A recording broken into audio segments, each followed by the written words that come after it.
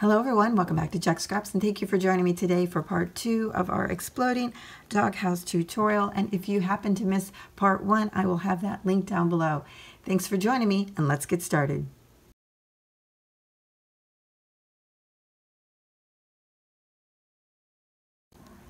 Now to save some time on filming and your time as well, I went ahead and laid everything out and glued it down, but I'd like to walk you through what I did. So these sections are about four by four inches. What I did was I printed off some of the digital sheets and then I cut them down to be three and seven eighths by three and seven eighths. So all of these big blocks are that measurement. The two smaller ones, these are one and nine sixteenths, or you could go to one and a half by three and three fourths. So I laid all those down and I used score tape. I had this green decorative trim from Target and I added it to the bottom of all of the squares because it makes it look like grass. So here it is if you bring everything up on the front and it just kind of looks like grass and I kind of liked it. So that is felt decorative trim and I think it looks really cool there. It gives it some nice texture. For these three blocks here and the two smaller ones, I use Calico Collage and this is from a, another digital kit that I use, and it is pink wood, which I thought looked really well with the flowers. The next thing I did was printed out a uh, banner here from Cricut. I thought happy was a nice positive word to put there, and it could also be the dog's name if you wanted. so on the end, I added them little those little sticker hearts from Bo Bunny and I actually had to create this banner in uh, Cricut. It was a solid banner, and then I added each individual letter to each little flag, and then welded that. No, I sliced it so that it would come through. And let's see, I think that is it for the outs. Oh, the little hole. So I also cut this out in Cricut. There is a doghouse there that has a front and a hole that it cuts out. Um, but you could easily do this if you cut your paper 3 and 7 fourths, no, 3 and 7 eighths by 3 and 7 eighths, and then your hole would be, it's actually 1 and 9 sixteenths. Again, you could do 1 and a half by 1 and 3 fourths. Now, you would definitely want to make your um, little doorway here big enough for the dog that you're putting in there or what other animal you might be using. Okay, so that is the outside of the exploding box. So when we turn this over, I still have the front here toward me. And I put a nice uh, decorative piece from the digital kit of Calico Collage, and each of these images are from there as well. Now, what I like about these images is it has a nice grid paper, and then it has little dog prints on it. Really cute. Hope you can see that but I wanted something uh, faint in the background because I'm going to be building on top of this. So um, that's how I did that. Again, I cut it down to 3 and 7 eighths by 3 and 7 eighths. But the next step would be to glue down our little pocket here.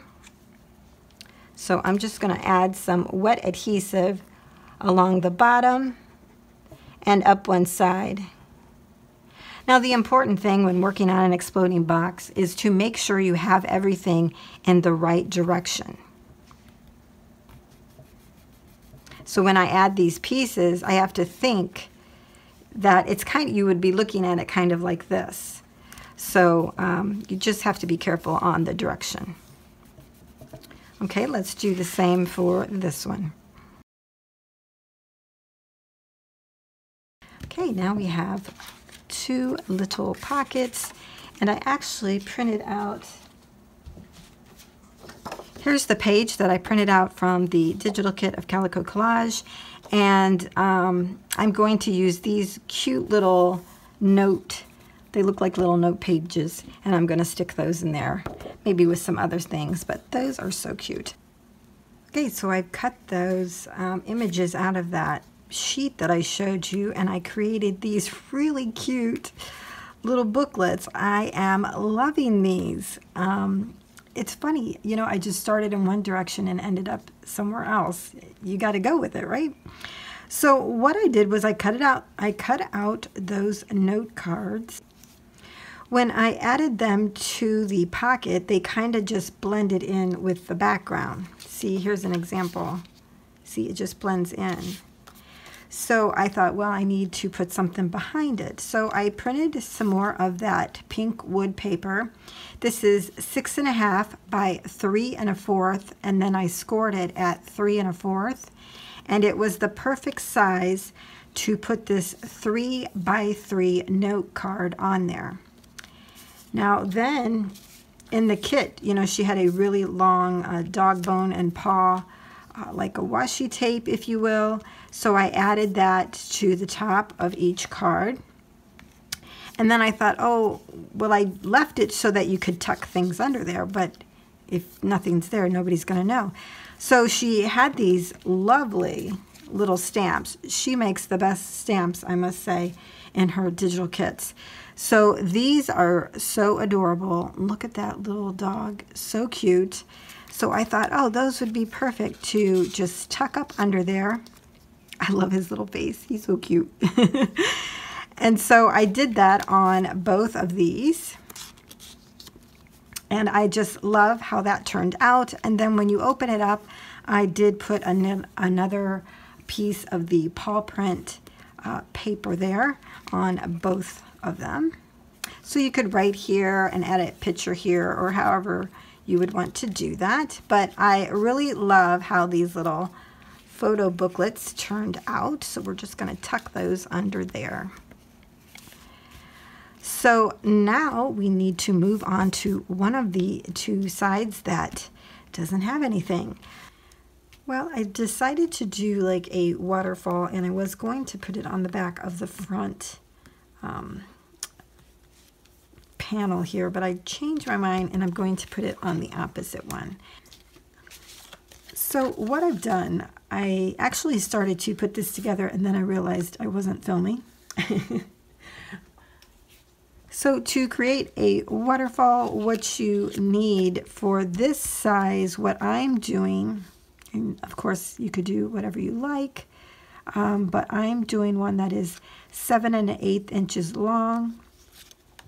You and it is two and a half inches wide. You fold that in half and you score and then you score every fourth of an inch. So it would be this way actually.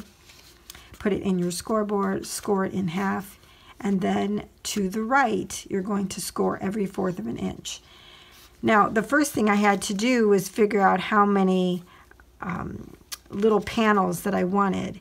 And how I did that was to figure out the size of each panel or each photo mat, let's see. So I decided to do two and a half because if you want to do an Instax, it would fit there really good. You'd have a little border. So once I figured that out, two and a half, then I went every fourth of an inch, considering the width of my panel here. So at two and a half, I could go to one was two and three fourths, two was three, three was three and a fourth, four was three and a half, and then you go one more, and that would be three and three fourths. So that would fit perfect on here. So I knew I needed to make five score marks, the center one, and then I counted a fourth of an inch over each time. I hope that makes sense. I'm sure you've seen lots of videos on how to create these. So now that I have this piece done, then what I did was I took each panel and glued within the fourth of an inch score marks. So there was a line here and here. I put the glue in the center and added my panel, what I have here. I did that for each one. You only glue, you only glue here in the center. If you want me to do a separate video on that, I certainly can, but I've already gone and done this, so. Now, um, the next thing I'm going to do is we fold this over. You take another long piece of cardstock and this will measure one inch across by six inches. And you will take this piece, put it behind the base, and then take the other part of the base, fold that over, and then fold these over and just kind of push those down. What's going to happen is this is going to get glued down to the bottom. But before we do that, on this piece, I'm using just a little piece of ribbon here. I got this from the Dollar Tree. It's grosgrain with metallic stripe from Floral Garden. I'm going to glue that here onto the back piece.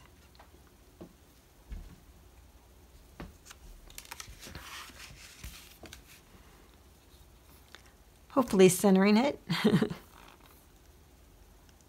so we'll glue this here in the center. You can use a skinnier piece, whatever you like.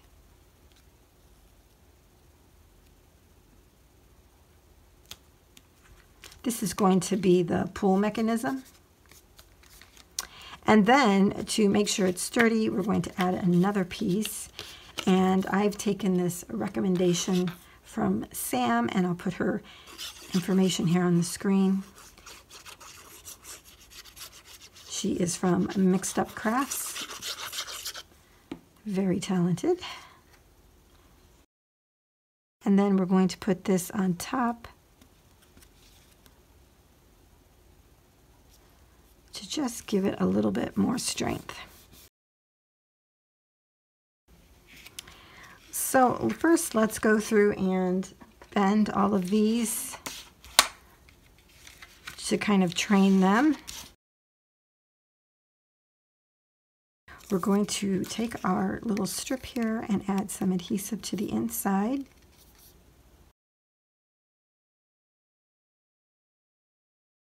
Now another trick that she does is she glues the last piece down to the mechanism and then that way it also provides additional strength to it.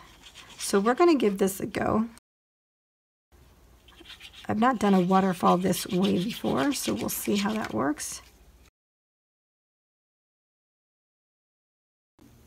Okay, now when we get ready to adhere this down, we need to glue these little flaps. And when you do, you want to do it where they don't get adhered to the base of the mechanism here.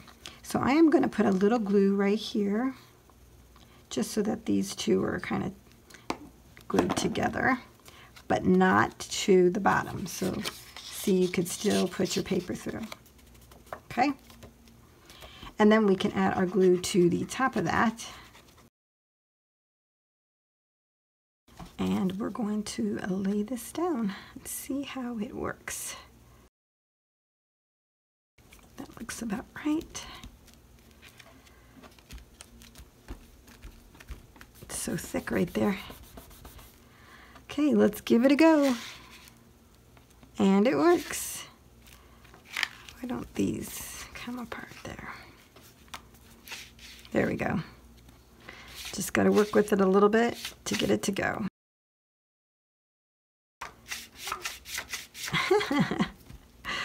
Okay, fabulous. On to the next one.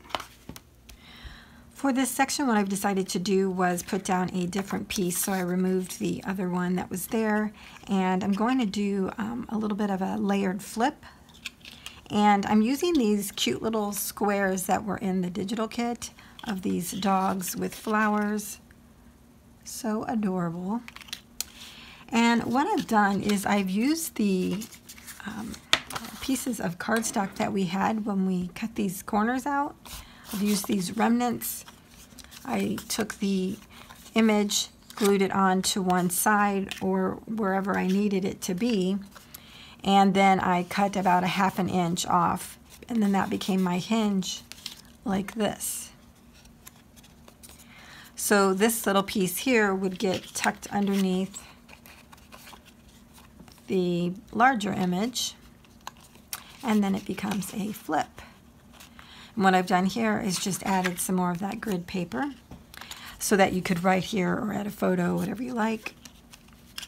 So what I'm going to do now is just kind of glue these on to this, the back side of this paper, and then this whole thing will get glued down. Now you put the glue here on the inside, put it here wherever you want it, and the way I'm doing it is kind of staggering them. They're not going to be, you know, perpendicular to each other or in alignment.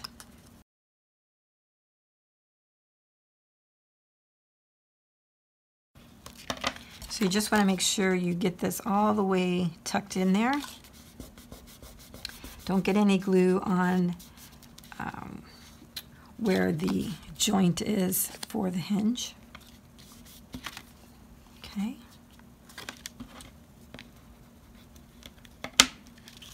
Let's do the next one here. So I'm tucking it all the way up and then pushing down on the little hinge.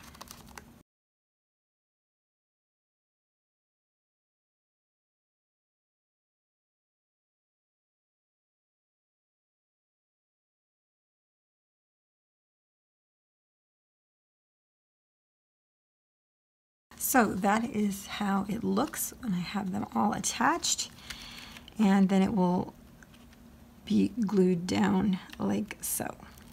Now, if you wanted to, you could add some ribbon and tie it off in the center to keep these little flaps down. I thought about doing that. I just need to get a wide enough piece to do that. Another way to do it is you could put a magnet on the inside under this top layer here and on the back side here and then put that down and have a magnet closure. Or don't do a closure at all because we will have, you know, another piece there on top and it will lay over on it, which will kind of keep it down also. Once everything is opened, of course. This seems to lay pretty flat, so I think I've decided to not use ribbon.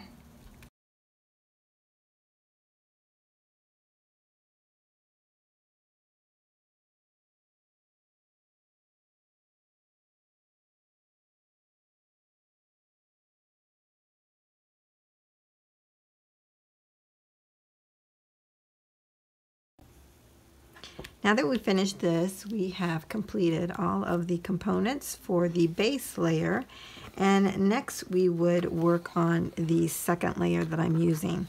Now I've gone ahead and saved some time for all of you and did some decorating already and I kind of mirrored what I did on the first layer. So the big blocks will be three and 3 eighths by 3 and 3 eighths. And that would be on all four of these. I did go ahead and add some of that ribbon. Like I said, I just mirrored what I did before. Here's the little doggy that I put in there. And on the inside, these would be 3 and 3 eighths as well. And then these smaller pieces would be 3 and 3 eighths by 1 and 3 eighths wide. So that's how you would do the two pockets. Okay, for the two pockets, what I've done is cut down these two little note cards that were in the kit. They were actually about a little bit longer than that. And put these in the little pockets for journaling. And then I added these little dog stamps to each of the pockets. These are so cute. Really pretty. And now we're going to work on this side of the this layer. Now, when I was trying to figure out the direction to put the items that I'm adding here and then later on here, I went back to look at YouTube and some of the videos on the exploding boxes, and quite frankly, they go all different directions. Um, most of them, when they are adding items to the pockets, they add them to go toward the center. So as you see, this is facing toward this way, this is facing this way. So this one would face this way, whatever it is, and this one inward. But then I've also seen them where they're this way and this way and then this way, if you understand. Because like in this one, we did this to where it was facing us. These two, of course, the pockets are facing inward. But then when I did this one, I guess I was thinking that they would turn the box and then of course this would be in the right orientation, it's portrait. However, when you look at some of the other exploding boxes, you would actually see this turned around so that the pocket on this first piece that I created would be down here and you know it would just be upside down. So I think it's your preference, whatever direction you want to go in. Oh, and I added this piece later. It doesn't matter, it's going to get covered, but I did want to have that layered look there, so that's the only reason why I added that. So I say all that because it was taking me some time to figure out what direction I wanted to put this item in. What I'm doing is creating like a little gatefold door I cut this out of one of the digital papers. I thought it was so cute. And then I also cut out um, some more of the floral design and I made little hinges on them. So these are going to be um, glued to the back side of the puppy paper like this. And these will close and they will make a door to the paper. Like this. What I'm going to have in the door is this cute little crossword puzzle or word search. This is a word search, I'm sorry. So this cute little thing will be in here on top of the puppy paper. That's why I wanted to create the doors that you open it up. You have that as a surprise. And then, of course, the puppy paper.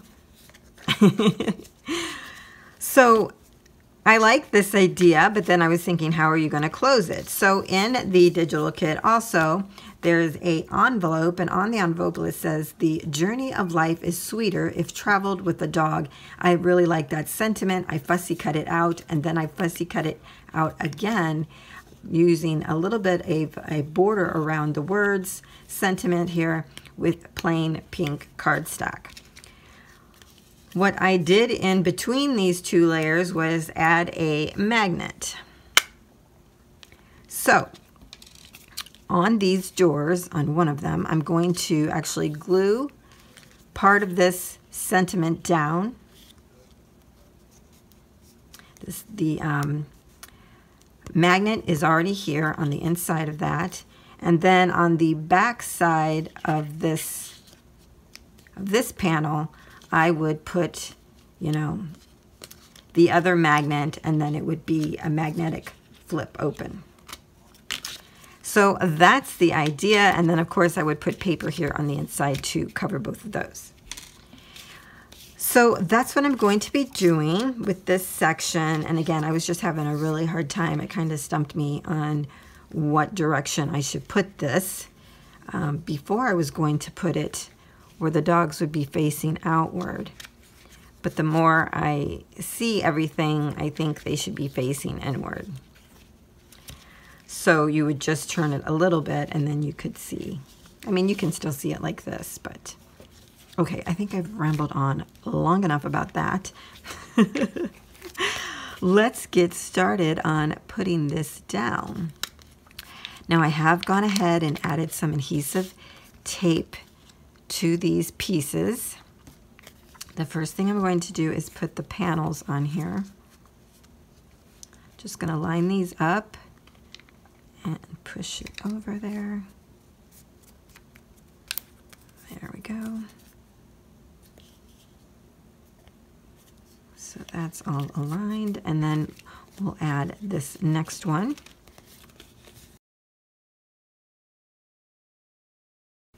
And what I'm doing here is kind of just putting the door front even between the two ends and then I'm going to wrap this over and down. And then now our door is closed. Okay, now we're going to put a little glue on the back side of this.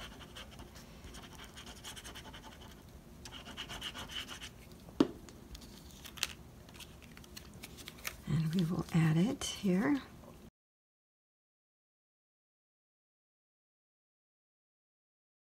Okay, now time. Okay, so the magnet I just stuck down in there and it found the other one. I don't know if you can see down in there. Nope. Oh, right there. So what I'm going to do is carefully open this up. We'll put a little glue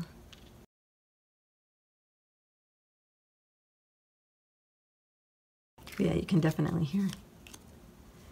Okay, now we can go ahead and add some tape to the back side of that. I always do that when I'm adding a magnet. It just adds some more strength to it. Okay, so I need to, I forgot to cut little panels here. I'll do that and be back.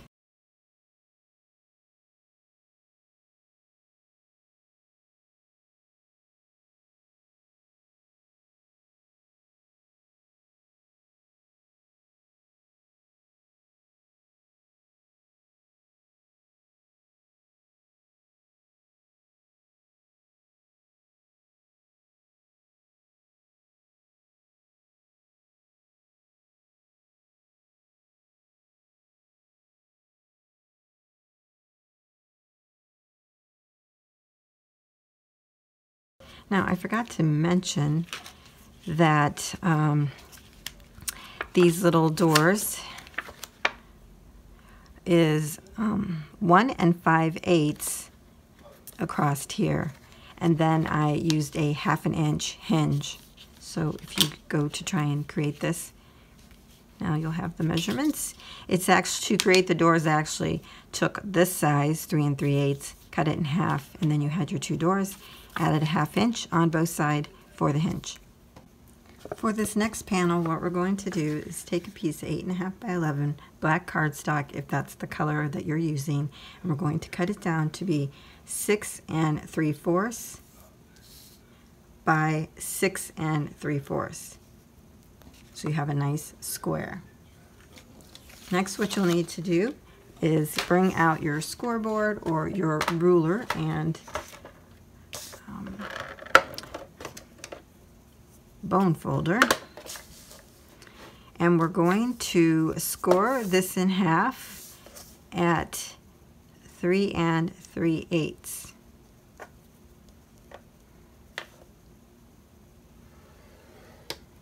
We're going to rotate it once to the left, score at 3 and 3 eighths.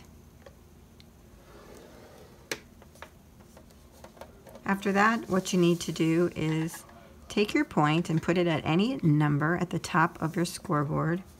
And you're going to line up the bottom to be at that same score line. So we're using five, and hopefully we will have lined this up properly, and we're going to score. Yep. So what you're doing is creating a diagonal line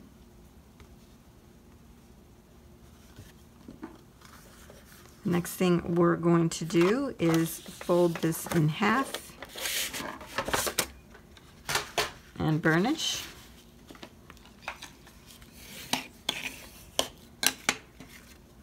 Unfold and fold it in half again the other way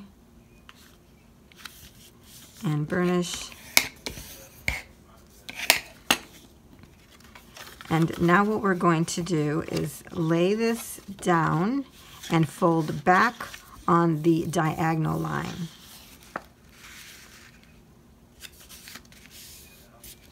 And burnish. Okay, so I hope that you see that.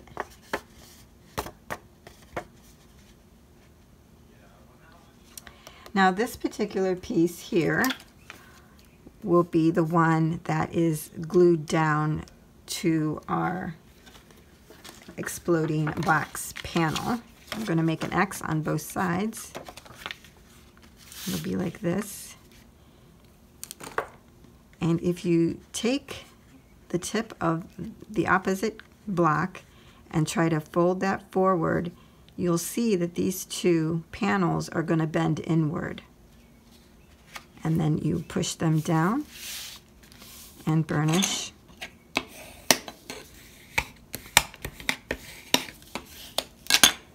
And it will look like this, you know, like a little sandwich. okay, so I hope you understood that. You would be gluing that down these panels will fold in and this would be the top. And what we're going to do is use some ribbon to tie this down so that it doesn't just flap open like that. And we'll do some decorating. Now when you go to decorate this component, you're going to want to cut out squares that are 3 and a fourth by 3 and a fourth. And of course you can modify that size if you want it to have a larger border on the outsides. So I've already gone ahead and decorated this one with paper and I wanted to show you for the pieces that fold inward there's a particular way to cut those. So you cut out your three and a fourth by three and a fourth square, you put it into your cutter, you line up the points top and bottom on a diagonal line you put one point at the edge of the cutter here, and then another one down at the bottom. So you kind of level those out like this. Hopefully you can see that. And then you cut. And then you will have your two pieces that go on the two squares that fold okay? So, and I'm just using regular art glitter glue to put these down.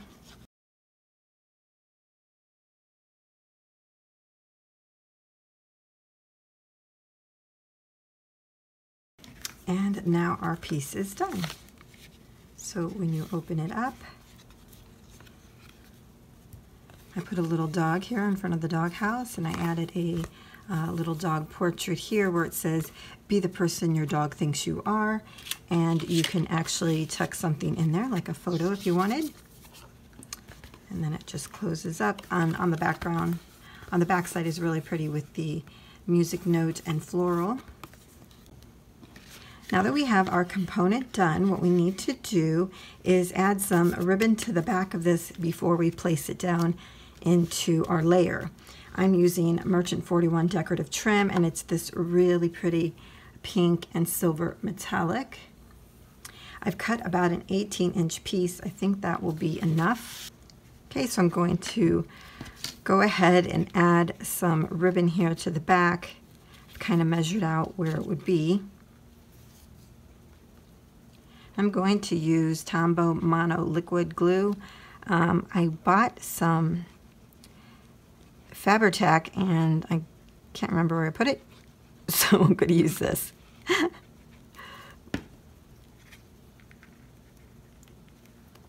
little dab should do it. I'm going to bring this around, just make sure that my uh, two lengths here are even.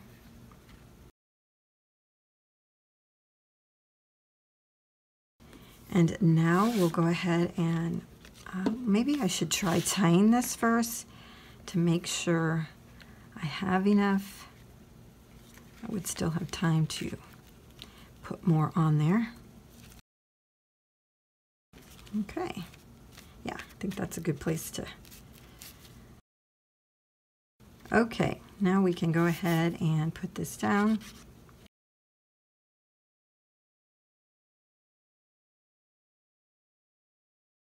We'll center that here on our little flap and press.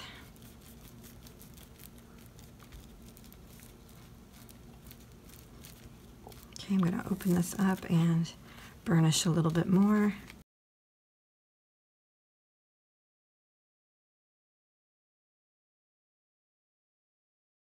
Now that we had this component completed, I added a, another square in the middle to finish that off. And what we need to do at this point is add the top layer to our bottom one.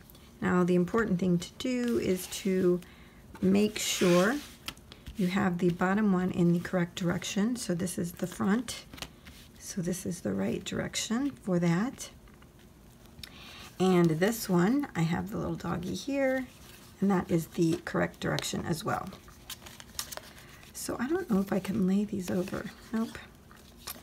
Okay, so what we're going to need to do is bring these all up together and then center it here on the bottom. So that's going to be fun. Maybe if I centered one end and then put the other one down might be the best way.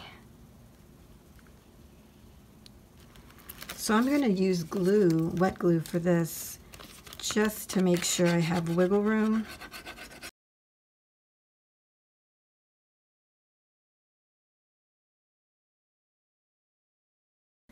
All right, here goes nothing.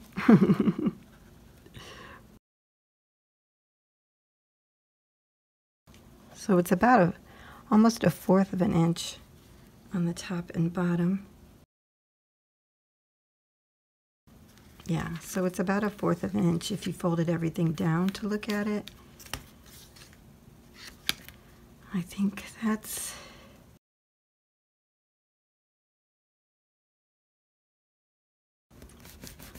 it's about the best we can get it here.